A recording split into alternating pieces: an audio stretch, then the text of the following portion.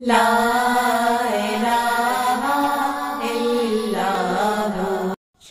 ಅಸ್ಸಲಾಮಲೈಕುಂ ವರಹಮತುಲ್ಲಾಹಿ ವಬರಕಾತ ನನ್ನೆಲ್ಲ ಇಸ್ಲಾಂ ಕನ್ನಡ ವೀಕ್ಷಕರಿಗೆ. ಇಂದು ನಾವು ನೋಡಲಿರುವಂಥ ಹದೀಸ್ ವಜೂದ್ ಮಾಡಿದ ಮೇಲೆ ತಪ್ಪದೇ ಮಾಡಬೇಕಾದಂತಹ ಕರ್ತವ್ಯಗಳು ಅಥವಾ ತಪ್ಪದೇ ಮಾಡಬೇಕಾದಂತಹ ಕಾರ್ಯಗಳು ಅಂತ ಕೂಡ ಹೇಳ್ಬೋದು. ಮೊದಲನೇದಾಗಿ ವಜುವಿನ ಮಹತ್ವದ ಬಗ್ಗೆ ತಿಳಿದುಕೊಳ್ಳೋಣ. ಆಮೇಲೆ ಅದು ಅದು ಮಾಡಿದ ತಕ್ಷಣ ಏನು ಮಾಡಬೇಕು ಅನ್ನೋ ಅಂಥ ವಿಷಯವನ್ನು ಸಹ ತಿಳ್ಕೊಳ್ಳೋಣ. ಕೆಲವೊಂದು ಹದೀಸ್ನ ಆಧಾರದ ಮೇಲೆ. ಮೊದಲನೇ, ಮೊದಲನೇದಾಗಿ ನಾವು ನೋಡುವಂಥ ಹದೀಸ್ ಉಕ್ಬಾ ಬಿನ್ ಅಮೀರ್ ರದಿಯಲ್ಲಾಹು ಅನ್ಹುಮಾ ಇವರು ಪ್ರಕಟಣೆ ಮಾಡಿರುವಂಥದ್ದು ಮುಸ್ಲಿಂ ಎಂಬಂತಹ ಗ್ರಂಥದಲ್ಲಿ ಮುನ್ನೂರ ತೊಂಬತ್ತೇಳನೇ ಹದೀಸಾಗಿ ಈ ಹದೀಸ್ ಇದೆ.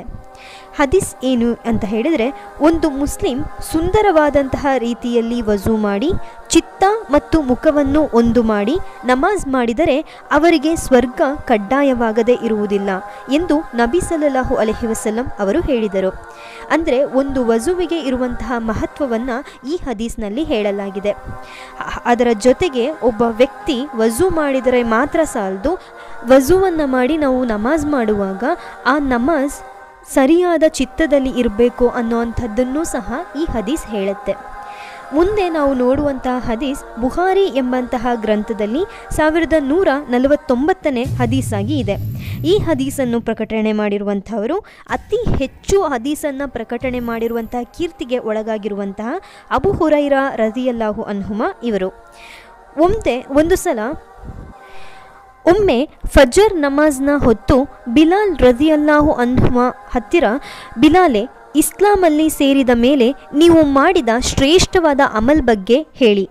ಏಕೆಂದರೆ ನಿಮ್ಮ ಚಪ್ಪಲಿಯ ಶಬ್ದವನ್ನು ನಾನು ಸ್ವರ್ಗದಲ್ಲಿ ಕೇಳಿದೆ ಎಂದು ನಬಿ ಸಲ್ಲಲ್ಲಾಹು ಅಲಹಿ ವಸಲ್ಲಂ ಕೇಳಿದರು.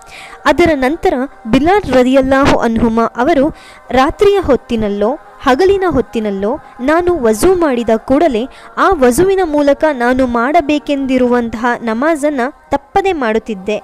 ಇದೇ ನನ್ನ ಕಾರ್ಯಗಳಲ್ಲಿ ಶ್ರೇಷ್ಠವಾದಂತಹ ಕಾರ್ಯ ಅಂತ ಹೇಳಿ ಬಿಲಾಲ್ ರತಿಯಲ್ಲಾಹು ಅನ್ಹುಮ ಅವರು ಉತ್ತರಿಸಿದರು. ಸ್ನೇಹಿತರೆ, ಮೊಹಮ್ಮದ್ ಸಲ್ಲಲ್ಲಾಹು ಅಲಿಹಿ ವಸಲ್ಲಂ ಮೆಹರಾಜ್ನ ರಾತ್ರಿಗಳಲ್ಲಿ ಸ್ವರ್ಗ ಮತ್ತು ನರಕವನ್ನು ವೀಕ್ಷಿಸಿದ್ರು. ನಬಿ ಸಲ್ಲಲ್ಲಾಹು ಅಲಿಹಿ ವಸಲ್ಲಂ ಅವರ ಸ್ನೇಹಿತರ ಕೆಲವಷ್ಟು ಮನೆಗಳನ್ನು ಸ್ವರ್ಗದಲ್ಲಿ ನೋಡಿದ್ರು ಅನ್ನೋಂತಹ ಮಾತು ನಮ್ಮೆಲ್ಲರಿಗೂ ಸಹ ಗೊತ್ತಿದೆ.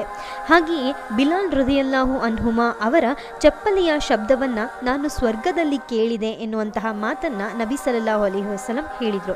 ಹೀಗೆ ನಾವು ಯಥೇಚ್ಛವಾದಂತಹ ಅಲ್ಲಹುವಿನ ಮೇಲಿರುವಂತಹ ಪ್ರೀತಿಯಲ್ಲಿ ಮಾಡುವಂತಹ ಒಂದು ಸಣ್ಣ ಸಣ್ಣ ಕೆಲಸವೂ ಸಹ ನಮಗೆ ಸ್ವರ್ಗಕ್ಕೆ ದಾರಿಯನ್ನು ಮಾಡಿಕೊಡುತ್ತೆ.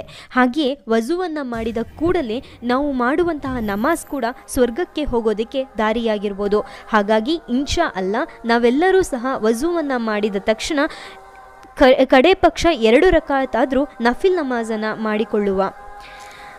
ನಂತರದ ಹದೀಸ್ ಬುಖಾರಿ ಎಂಬಂತಹ ಗ್ರಂಥದಲ್ಲಿ ಸಾವಿರದ ನೂರ ಅರವತ್ತ್ಮೂರು ಮತ್ತು ಮುಸ್ಲಿಂ ಎಂಬಂತಹ ಗ್ರಂಥದಲ್ಲಿ ಸಾವಿರದ ಇನ್ನೂರ ಎಂಬತ್ತೇಳನೇ ಹದೀಸಾಗಿ ಇದೆ. ನಬಿ ಸಲ್ಲಲ್ಲಾಹು ಅಲಹಿ ವಸಲ್ಲಂ ಅವರು ಹೇಳಿದರು, ನಿಮ್ಮಲ್ಲಿ ಒಬ್ಬರು ಮಸೀದಿ ಒಳಗೆ ಬಂದ ಕೂಡಲೇ ಎರಡು ರಕಾಅತ್ ನಮಾಜ್ ಮಾಡದೆ ಕೂರಬೇಡಿ ಎಂದು ಅಬು ಹತ್ತಾತ್ ರಜಿಯಲ್ಲಾಹು ಅನ್ಹು ಅವರು ಪ್ರಕಟಣೆ ಮಾಡಿದರು. ಸ್ನೇಹಿತರೆ, ನಾವು ಈಗಾಗಲೇ ಒಂದು ಹದೀಸ್ನ ಕ್ಲಾಸ್ನಲ್ಲಿ ನೋಡಿದ್ವಿ. ಶುಕ್ರವಾರದಂದು ನಾವು ಮಸೀದಿಗೆ ಒಳಗೆ ಹೋಗಿದ ಕೂಡಲೇ ಎರಡು ರಕಾಯತ್ ನಮಾಜನ್ನು ಮಾಡಿ ಮಾಡಿಕೊಳ್ಳಬೇಕು ಅಂತ ಹೇಳಿ. ಇದನ್ನೇ ನಬಿ ಸಲಹು ಅಲಹಿ ವಸಲ್ಲಂ ಪ್ರಕಟಣೆ ಮಾಡಿದರು. ಇದು ಕೇವಲ ಶುಕ್ರವಾರದ ದಿನದಂದು ಮಾತ್ರವಲ್ಲ ಅಂತ ಕೂಡ ಆ ಹದೀಸ್ನಲ್ಲಿ ಹೇಳಲಾಗಿತ್ತು. ಹಾಗೆಯೇ ಈಗಲೂ ಸಹ ಈ ಹದೀಸ್ ಅದಕ್ಕೆ ಸಾಕ್ಷಿಯನ್ನು ಒದಗಿಸಿದೆ.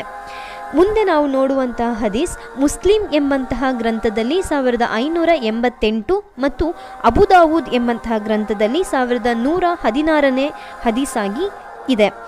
ಜಾಬಿರ್ ಬಿನ್ ಅಬ್ದುಲ್ಲಾ ರಜಿಯಲ್ಲಾಹು ಅನ್ಹುಮಾ ಅವರು ಹೇಳಿದರು, ನಬಿ ಸಲ್ಲಲ್ಲಾಹು ಅಲಹಿ ವಸಲ್ಲಂ ಅವರು ಶುಕ್ರವಾರದಂದು ಮಿಂಬರ್ನ ಮೇಲೆ ಕುಳಿತಿದ್ದಾಗ ಒಬ್ಬರು ನಬಿ ಅವರ ಸಹಾಬ ನಮಾಜ್ಗೆ ಅಂತ ಹೇಳಿ ಮಸೀದಿಯ ಒಳಗೆ ಬರ್ತಾರೆ. ಆದರೆ ಮಸೀದಿಗೆ ಬಂದ ಕೂಡಲೇ ಅವರು ಅಲ್ಲೇ ಕೂತ್ಕೊಬಿಡ್ತಾರೆ. ಆಗ ನಬಿ ಸಲ್ಲಲ್ಲಾಹು ಅಲಹಿ ವಸಲ್ಲಂ ಅವರು, ನೀವು ಎರಡು ರಕಾತ್ ನಮಾಜ್ ಮಾಡಿದ್ರಾ? ಅಂತ ಹೇಳಿ ಕೇಳ್ತಾರೆ. ಅದಕ್ಕೆ ಅವರು, ಇಲ್ಲ ಅಂತ ಹೇಳಿ ಹೇಳ್ತಾರೆ. ಎದ್ದು, ಆ ಎರಡು ರಕಾತ್ ನಮಾಜ್ ಮಾಡಿ ಅಂತ ಹೇಳಿ ನಬಿ ಸಲ್ಲಲ್ಲಾಹು ಅಲಹಿ ವಸಲ್ಲಂ ಹೇಳಿದ್ರು ಅಂತ ಹೇಳಿ ಈ ಹದೀಸ್ ಹೇಳುತ್ತೆ. ನಾವು ಈಗಾಗಲೇ ಶುಕ್ರವಾರದ ಹೊತ್ತಿನಲ್ಲಿ ಎರಡು ರಕಾಯತ್ ನಮಾಜ್ ಮಾಡಬೇಕು ಅನ್ನುವಂತಹ ಒಂದು ಹದೀಸ್ ಕೂಡ ಮುಸ್ಲಿಂ ಎಂಬಂತಹ ಗ್ರಂಥದಲ್ಲಿ ಸಾವಿರದ ಐನೂರ ಎಂಬತ್ತೆಂಟು, ಎಂಬತ್ತೊಂಬತ್ತನೇ ಹದೀಸಾಗಿ ಇತ್ತು. ಹಾಗೆಯೇ ಇದನ್ನು ಕೂಡ ನಾವು ನೆನಪಿನಲ್ಲಿ ಇಟ್ಕೋಬೇಕಾಗತ್ತೆ ಸೊ ವಜು ಮಾಡೋದ್ರಿಂದ ನಮಗೆ ಎಷ್ಟೆಲ್ಲ ಉಪಯೋಗವಿದೆ ಮತ್ತು ವಜುವಿನ ಮಹತ್ವ ಏನು, ವಜು ಮಾಡಿದ ಕೂಡಲೇ ನಾವು ಮಾಡಬೇಕಾದಂತಹ ಕಾರ್ಯವೇನು ಅಂತ ಹೇಳಿ ಈ ಎಲ್ಲ ಹದೀಸ್ಗಳು ಹೇಳುತ್ತೆ. ಮುಖ್ಯವಾಗಿ ಎಲ್ಲ ಹದೀಸ್ಗಳು ಹೇಳುವಂತಹ ವಿಷಯ ಒಂದೇ. ನೀವು ಯಾವಾಗ ವಜು ಮಾಡಿದರೂ ಕೂಡ ಒಂದು ಅಥವಾ ಎರಡು ರಕಾತ್ ನಮಾಜ್ ಮಾಡಿ ಅನ್ನುವಂತಹ ಮಾತನ್ನು ಎಲ್ಲ ಹದೀಸ್ಗಳು ಸಹ ಹೇಳ್ತಾ ಇದೆ. ಹಾಗಾಗಿ, ಇನ್ಶಾ ಅಲ್ಲ ನಾವು ವಜು ಮಾಡಿದ ತಕ್ಷಣ ಎರಡು ರಕಾತ್ ನಮಾಜನ್ನು ಮಾಡಿಕೊಳ್ಳೋಣ. ಇದು ನಮಗೆ ಸ್ವರ್ಗಕ್ಕೆ ಹೋಗೋದಕ್ಕೆ ಒಂದು ದಾರಿಯಾಗ್ಬೋದು ಅನ್ನೋದರಲ್ಲಿ ಎರಡು ಮಾತಿಲ್ಲ.